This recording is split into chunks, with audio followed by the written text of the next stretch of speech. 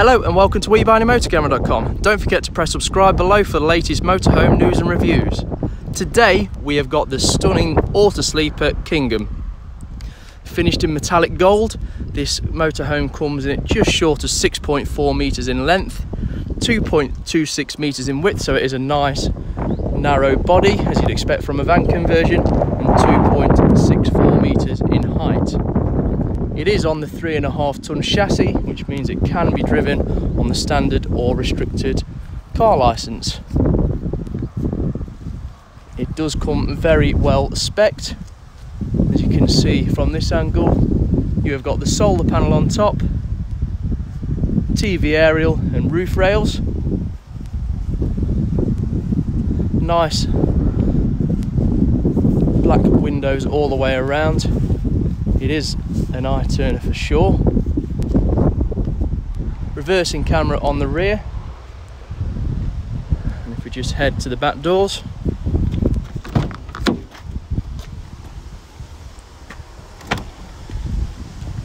We have the rear access for the water pump, internal storage and cassette toilet.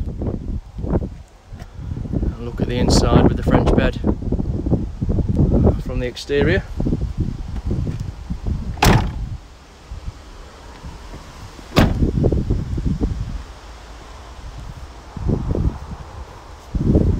With the metallic gold it really does look the part. And on this side you can also see the Thule Omnistor awning LED lights and it does have the daytime running lights on the front as well as the electric step that comes out on the side.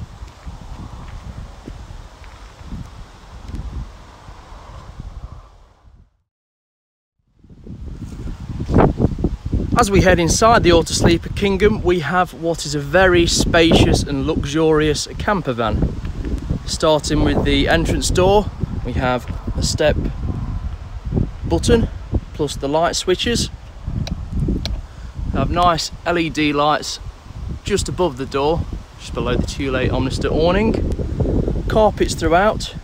We have a nice long bench seat along with this and the two front seats that swivel around we can seat four around a table which is stored above three cupboards above this area plus underneath the bench seat storage for the table and whatever else you fancy in there the cab itself very highly spec'd which you'd expect with it being an auto sleeper this one in particular is on the Peugeot Boxer 2.2 HDI engine with the upgraded 150 brake horsepower.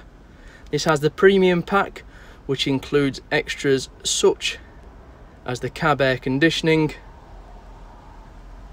air ride suspension which you can see there's the gasket and the air ride suspension is just on the side of the door. Uh, reversing camera which is above and daytime running lights outside driver and passenger airbag is standard steering wheel controls bluetooth phone prep six speed gearbox cd radio player everything that you need in the cab. Spinning around in the lounge area we do have uh, sockets for tvs etc the kitchen itself again very spacious. Sometimes in camper vans they are very limited in space. With the fold out table just here it does extend the kitchen area and probably makes a bigger kitchen area than most motorhomes generally. Lots of storage cupboards below oven grill three hob burner microwave just above and two more cupboards as well it has a neat little thing two handles, pull up, and you have your three 240 volt sockets.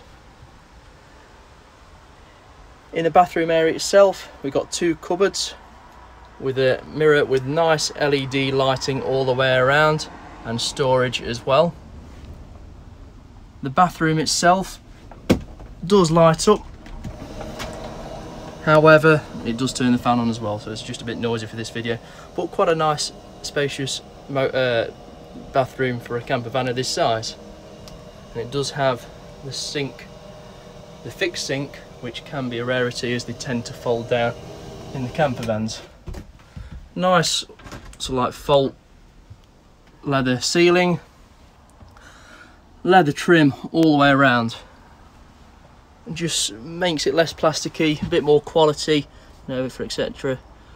Uh, around the bed, and which is the main feature of this motorhome, is the French corner bed.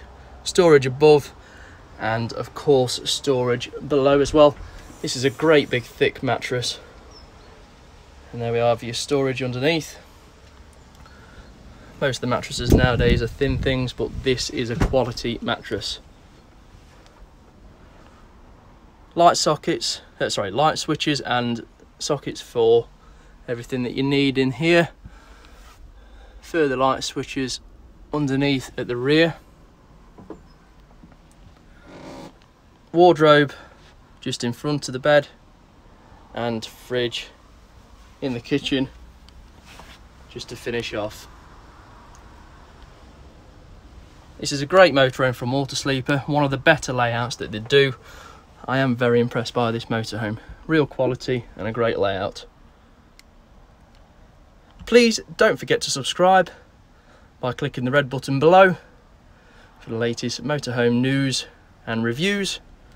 And please comment and tell me what your thoughts are in this camper van yourself. And I hope to see you soon.